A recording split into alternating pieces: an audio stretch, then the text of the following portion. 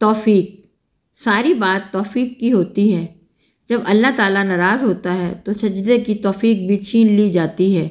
फ़र्ज़ नमाजें भी अदा नहीं हो पाती। और जब वो राज़ी हो जाए तो आधी रात को जगाकर अपने हजूर खड़ा कर लेता है। हाजत रवाई।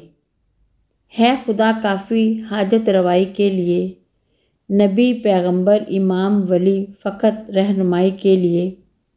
नमाज़ में कहते हो तुम रोज़ अय्या का नाबदो वैया का नस्तीन। फिर भी घूमते हो तुम दर बदर मुश्किल कुशाई के लिए। अल्लाह इम्तहान लेता है ताकि साबिर रहो।